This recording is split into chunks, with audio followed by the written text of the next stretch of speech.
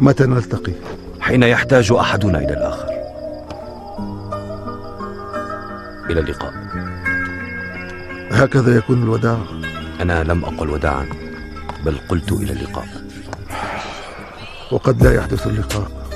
سأقول كما يقول العشاق لن يمنع لقاءنا إلى الموت. وكيف أعرف إذا مت؟ هذا ليس مهما فأنا لا أحتاج إلى قصائد الرداء